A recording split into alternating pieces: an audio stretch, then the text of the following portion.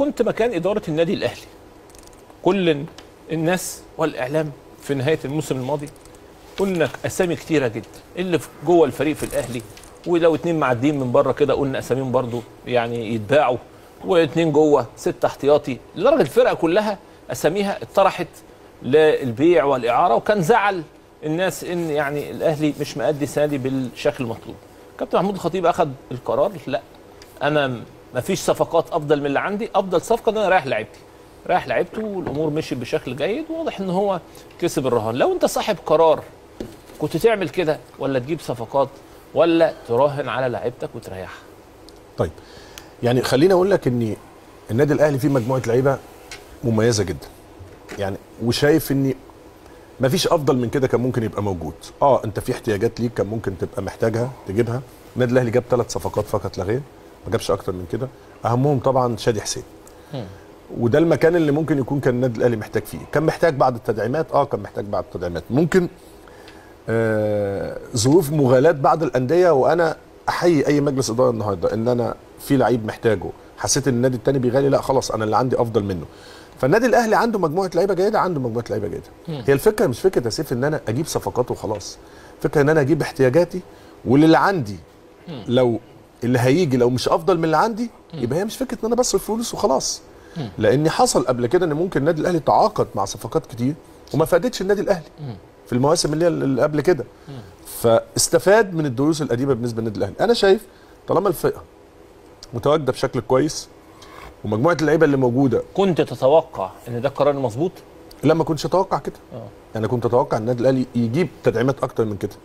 ولكن أنا شايف ان ال- ال- اللي حصل ده ده شيء يحترم إني أنا النهارده. في احتياجات أنا محتاجها جبت الاحتياجات بتاعتي. آه كان ممكن يكون في لعيبة تانية هضمها. مع مغالاه الأندية لأن في الأول وفي الآخر أنا معلش النهارده عايز عايز لعيب. رحت النادي النهارده بيقيمه لي عشان النادي الأهلي ب 30 مليون ب 40 مليون. لا مش هجيبه ب 30 40 مليون. ليه؟ لأن أنا ما ينفعش أبوظ فرقة. لأن حصل قبل كده وعمل مشكلة بالنسبة للنادي الأهلي. لو تفتكر. برضه صلاح محسن لما. جه وبرقم كبير وبعد كده بدأت اللعيبة الكبيرة كلها عايزة تعدل عقودها واحد بيتقسي اللعيب. طبعا. يعني. اللعيب اللي بيجي برقم كبير رقم بيتحط على ظهره. حسين الشحات.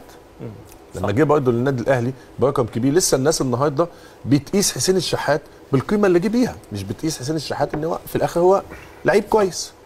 بس مش معنى إن التوقيت ده هو جه بالقيمه دي يبقى هو ال- إن هو جاي يعمل المستحيل في النادي الأهلي. صفقات الدوري المصري أفضل ولا لعيب النادي الأهلي اللي عنده؟